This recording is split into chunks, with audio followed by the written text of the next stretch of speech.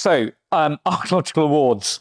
So, I'm here to talk to you about the Archaeological Achievement Awards. The first thing to know is you have seen these all before. They were the British Archaeological Awards. Okay.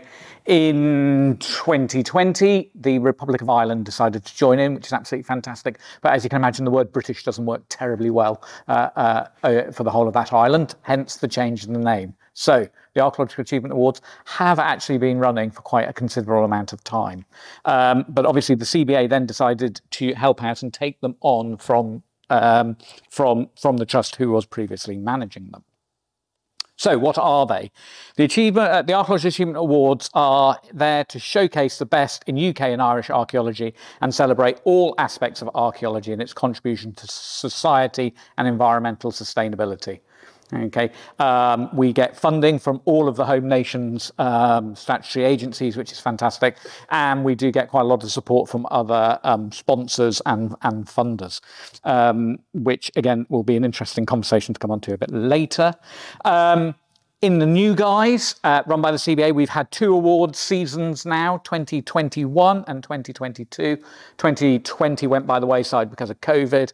Um, we were due to be in Edinburgh Castle for 2021, but a storm stopped us. Uh, so Storm Barra actually made Edinburgh Castle too dangerous. Uh, they told us with less than 24 hours notice. Uh, but we flipped and we went online and it was quite good fun. Um, last year we went to Dublin and we were hosted in Dublin Castle in St Patrick's Hall, uh, which was absolutely fantastic. So, uh, and a few of you were actually there, which is good. So the awards uh, in a sense, they are new. Um, before I started at CBA, I'd never run an award ceremony before, or a process, or anything like that. And we have literally rethought the whole process, um, right from the top down. And we did that with a group um, we basically had a, a board who oversaw it. That board has now become the panel of judges, okay, which I'll come on to in a minute. But what we really wanted to do in, in creating the awards was ask ourselves, how can we create something that nominate, nominated um, uh, parties can actually demonstrate public benefit, the actual public benefit of what they're doing. So again, how do, would the awards stand proxy and demonstrate that? And that's the overarching issue of everything we try to do. So obviously when you start talking about public benefit, there's loads of types of public benefit. How do you capture them all? Well, First thing we did is we looked at the type of award categories, but then we actually also looked at some cross-cutting themes. So the awards have a number of cross-cutting themes that we want people to think about. And they are equity, diversity and inclusion, health and well-being, collaboration, place shaping and innovation. And again, having only run two years, we, we are slightly trying to look at how we make these things better. So previously in 2021, we wanted you to address them all. Now we don't. What we want you to do is address equity, diversity, and inclusion, and one other. So again, we've just simplified that process. And that can just be, you know, it's a very simple process to actually do that. And I'll talk about the, the, the, the, the application process a little bit later. So then we go on to the actual awards. There are five awards, again, all very specifically um, focused in on different areas. Public dissemination and presentation, engagement and participation, early career archaeologist, learning, training and skills, and new for this year, archaeology and sustainability. And when we talk about archaeology and sustainability, we're going to use the UN sustainability goals, and it's as broad as that. And the idea is that each nomination actually, it's your job to say why you should be included in that category and why you should potentially win it. And then there is an Outstanding Achievement Award, which now is um, taken from one of the um, winning categories. And that's assessed separately anyone can actually nominate themselves for any award with the exception of the early career archaeologist, which has to be nominated by a third party. Okay? And we are really open about what we call early career. So you could have had a career break um, and you could be coming back into archaeology. So we sort of roughly define it as within the first eight years of your career, even if you started, went away for 20 years and then came back again. So again, it's about making it as open as possible. The application forms I'll show you in a minute, what they do is they say, you tell us how you meet this criteria. Okay, so again, which is something I think is really important, is the guidance that actually goes to tell you how you actually how you actually apply for things. Um, we've done quite well in terms of nominations over the last two years. We've had over 130 um, applications. Two really interesting things. It's not been even. We had a lot in the very first year, which is immediately post-COVID. Not quite so many last year, but each category had to, had to be shortlisted, which is fantastic. Geographically, all across the UK and Ireland, with the exception of Wales. Anyone from Wales, please just put a nomination in. Uh, it, that would be really, really great. And I have to say there is a, a marked lack of commercial units applying. Um, and again, that's something I'm really keen to actually hear more about and talk about as we go through. What makes a good application? So again, early career, it's actually about showing their impact and again, how, how you write it. Um, if you're looking at um, the overall winner from, from last year, the newest virtual archaeology project, it included everything. Really great dissemination, really great engagement, but also a little bit of innovation and thinking about things and actually taking a part, you know, a bit of archaeological heritage that's, that's remote and bringing it into the center. Um, there's been a couple of really good um, commercial projects who have, have submitted. Um, so we had um, the Wessex um, Formal Learning Programme, which again was just a really good one in the learning, training and skills. It worked really well. And then Pop Idol, which actually was an AMS project in the Republic of Ireland at Rathcroghan, which was fantastic. So they found this amazing piece of wood that is an idol and they just did so much engagement work around it. Uh, and they actually came across and demonstrated that and, and actually talked about that really well. And you could actually see that in, in the, in the application. So the, again, the whole point here is this is trying to cover all uh, um, output that we can consider as being done by archaeologists or around archaeology and the process. So how do you apply? Well, basically you apply online through the CBA. There's an online portal, you fill out an online form. And I can tell you, we have absolutely made this as simple as possible. So for each of the criteria uh, for each of the awards, you will be the, each criteria is listed. You are told how many words you need to put, and you are told how many points you're going to score within that e equal that box. Okay, it's as simple as that.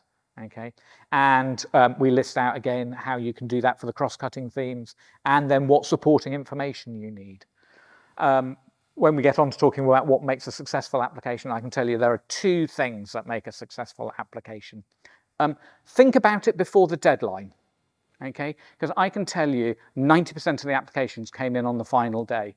The final day of these awards have become my most stressful day at work, okay? Because you are literally waiting for the applications to come in. And some people clearly haven't picked up the application form before that morning, okay?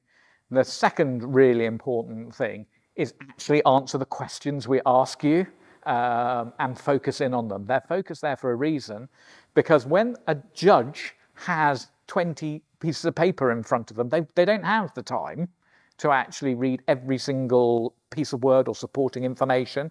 They are focusing in on what they're doing, and, and we've guided everything to give that answer. So what you write becomes really, really important. And it's a case of how you actually focus that.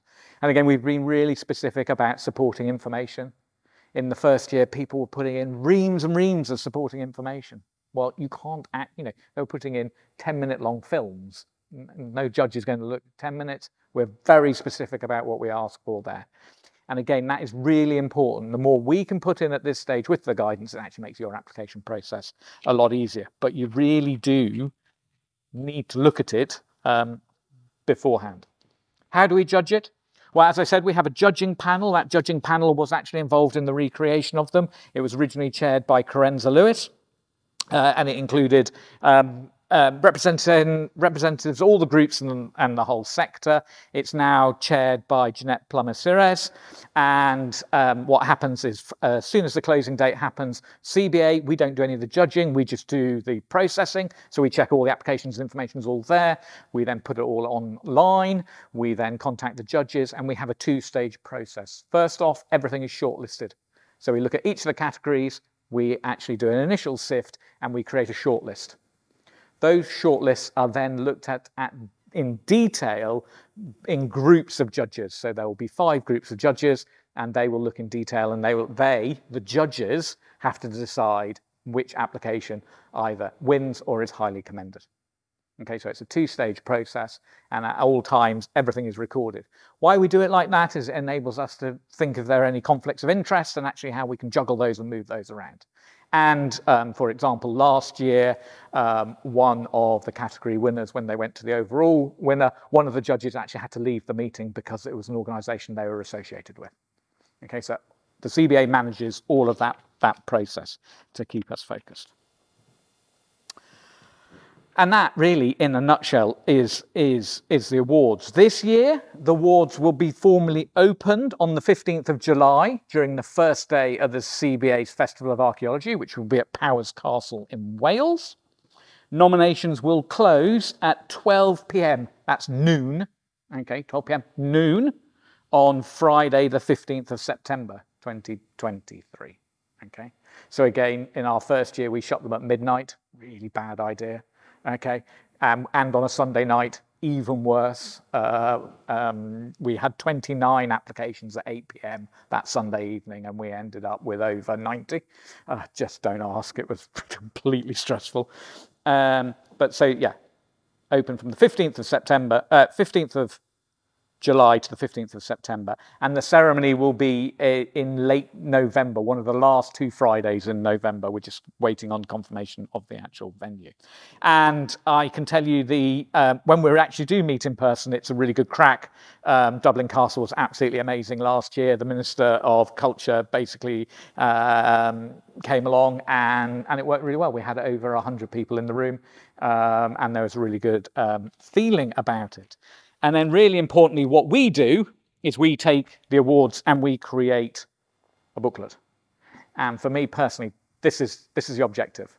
Because if we can start to share this around and actually share this, this becomes a statement about the public value of archaeology.